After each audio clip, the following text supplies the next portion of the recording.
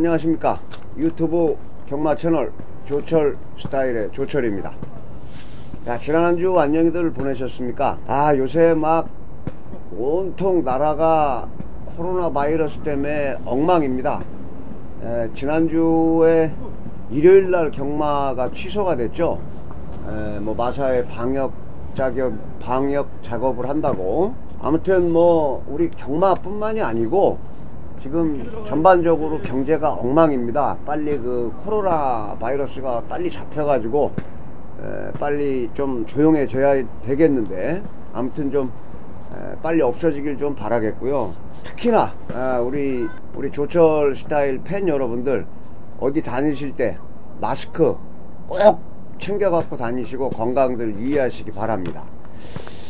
자 오늘은 뭐 경마가 취소되고 쉬는 건 쉬는 거더라도 조철 스타일은 달려야죠. 어, 특히 뭐 경마도 이렇게 안 하고 그러는데 여러분들 뭐 하시겠어요? 이런 컨텐츠 좀 올려드려 가지고 여러분들께 좀 도움되는 에, 이렇게 좀 한가하실 때 경마 안 하고 한가할 때 여러분들이 좀 듣고 도움이 되시라고 또 오늘 카메라 앞에 앉았는데 자 오늘 여러분들께 좀 드리고 싶은 말씀은 조철이 지금부터 드리는 말씀이 좀 듣기 싫은 분들도 계실 거고 아니면 아 맞다. 아, 이러시는 분도 분명히 계실 거예요. 제가 오늘 여러분들께 드리고 싶은 말씀은 경마 좀 알고 합시다. 알고 합시다. 아, 경마 하는데 뭣도 모르면서 하면 돈만 일잖아요. 그래서 경마에 대해서 좀 뭐 알고 좀 하자. 아, 이런 의미로 좀 여러분들께 말씀을 드리는데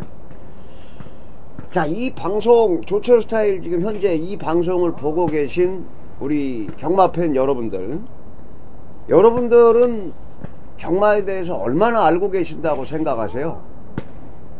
여러분들은 또 경주마 마필에 대해서 얼마나 알고들 계신다고 생각하십니까?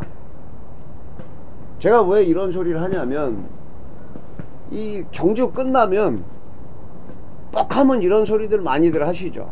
야 저거 기수 어? 저놈 안 갔네. 저놈 빼먹었네. 야 저거 없네. 아니면 야 맥조 조교사 저거 완전 양아치네.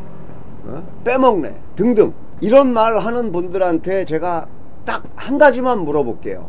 안 갔다 빼먹었다. 이런 얘기 하는 분들 중에 혹시 한 번이라도 정식으로 말 타보신 분 계세요? 말 잔등에 앉아보신 분 계세요? 말 잔등에 앉아가지고 이 경마 경주할 때 제일 빠른 속도가 뭡니까? 습보, 습보. 갤러핑이죠, 갤러핑. 갤러핑은 고사하고 하다못해 속보. 걸어도 좀 빠른 걸음이죠. 속보.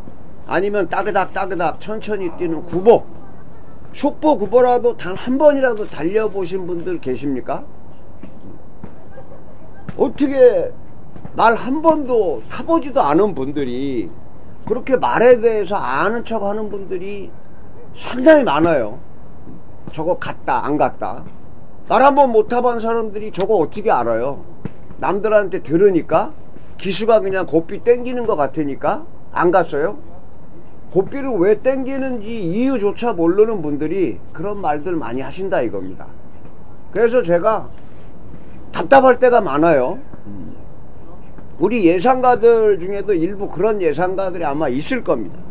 내가 추천한 말 못 들어오면 저거 안 간 겁니다. 저거 빼먹은 겁니다. 그런 예상가들한테도 한번 물어보세요. 니네들 말이나 한번 타보고 그런 얘기 하냐? 한번 물어보세요. 대한민국 예상가들 중에서 전직 기수들 빼고 말 탈 줄 아는 사람 몇 명이나 있겠습니까?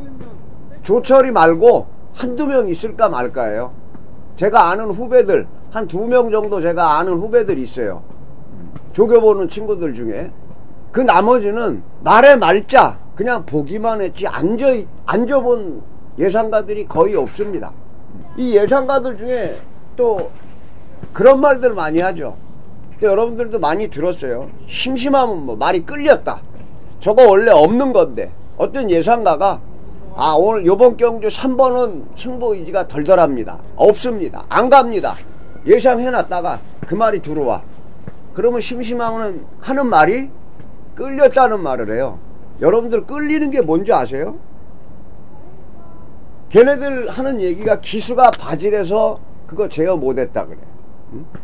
기수가 돼갖고 그거 하나 못 잡냐 그래. 여러분들 지난주인가 지지난주 세영이가 문세영이가 글로벌 캡틴이라는 말을 갖고 외곽 사행 빠가쉽게 해가지고 물 먹으러 가고 못 들어왔죠. 인기 단승식 1.1배짜리 부러졌어요. 대한민국 leading jockey 문세영이가 말을 못해서 그게 끌리고 제어 못해요? 그거 아니잖아요. 그죠? 세영이가 말을 못해서 낙마하고 쇄골뼈 부러지고 병원 신세지고 합니까? 그거 아니잖아요. 경마 레이스 중에는 여러 가지 돌출 변수들이 있어요. 그 돌출 변수 중에 또 지난주인가요? 김영근 기수가 탔던 우리 우리라는 마필이 인기 1위로 팔렸는데 못 들어왔어요. 그 우리라는 말에 대해서도 말이 이러쿵저러쿵 많았어요. 나 조철은 우리라는 말을 약하게 봤기 때문에 그걸 뒤로 돌려놓고 승부를 한번 보자. 메인 승부로 들어갔었어요. 그럼 뭐 조철은 뭐냐고. 그잖아요. 그 말의 능력을 그렇게 과인기 포장이 돼 있기 때문에 메인 승부로 들어갔던 경주인데 일부 그 우리라는 마필을 추천했던 예상가들 아니면 그 우리라는 마필에 베팅했던 사람들 이런 사람들이 그 우리가 빼먹었단 말이지 안 갔단 말이지 바로 그 사람들이 핫바지라는 겁니다 원래 복귀라는 거는요 내가 추천을 했던 그 말을 보는 복귀는 주관적이 될 수밖에 없어요. 그 우리라는 말을 추천을 안 했던 사람들, 그 우리라는 말에 베팅을 안 했던 사람들이 보고도 야 저거 진짜 안 갔네 빼먹었네 이런 말이 나오면 그게 객관적인 시각의 복귀라는 얘기입니다. 무슨 얘기인지 아시겠죠? 에, 내 눈깔이 내 눈깔 눈깔이라 그러면 좀 상스럽나요? 내 눈이 동태 눈깔이다. 이런 말 하기는 싫고 쪽팔리고 내 실력이 부족하다 하기는 싫고 괜히 남 핑계 대는 사람들의 그런 사람들의 얘기라는 말입니다. 또 하나 낙마한 거 보고 그런 얘기들 하는 사람 가끔 있죠. 저거 일부러 떨어졌네. 야, 안 갈라고 나오자마자 떨어지네. 이런 분들이 있죠. 참, 그런 분들 진짜 경마하면 안 돼요. 응? 그런 양반들이 말을 한번 타봐야 돼 진짜로 어떻게 해서 그게 떨어질 수밖에 없나 또 사행 안쪽으로 식 기대고 바깥쪽으로 쫙 물 먹으러 가고 그런 거 보고 야 저런 XX 같은 놈 기수가 돼가지고 밥 먹고 하는 일이 말 타는 건데 그것도 못 잡아? 하는 분들. 끌리는 거 아까 얘기했죠 제가. 저거 그것도 하나 끌리는 거 제어 못해 골절 있어요 골절. 음. 예, 지난주인가요? 토일 10일경주인가? 사바킹덤이란 마필 있죠? 쫙 가다가 다리 부러졌어요 오른쪽 앞다리 그 골절돼 골절돼서 기수 낙마하고 말 쩔뚝쩔뚝 하는 거 보고 그 마음 아프다는 생각은 안 하고 그거 보고 야 저 정도 부러질 정도면 조교 때 훈련 때 다 체크를 했어야지. 뭐 한 것들이야 저놈들. 이러고 욕하는 사람들이 있어요. 응? 답답하죠?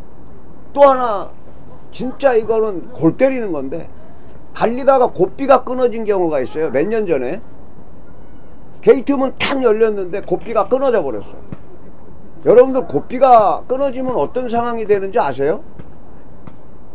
여러분들 자동차 운전하죠?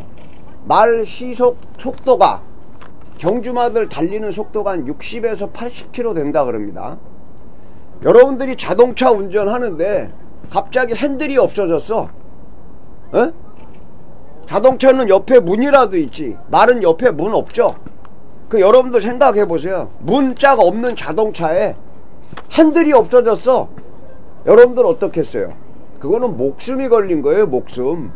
그걸 가지고 욕을 하고 장구소울 정비라 그러고 그렇게 고삐가 그러면 출줄 안 시켜야지 그러고 고삐가 끊어지니까 기수가 어떠겠어요 당연히 어쩔 줄을 모르지 이건 나 죽은 것 같아 막 말 갈기 잡을 거밖 갈기밖에 잡을 데가 없어. 갈기 잡고 쩔줄 몰라서 있는 거 보고 낄낄대고 웃는 사람들도 봤어 내가. 진짜 그런 사람들은 경마하면 안 돼요. 왜? 내가 말이라는 동물에 올라가 보질 못했기 때문에 그렇게 무식한 소리들을 한다 이겁니다.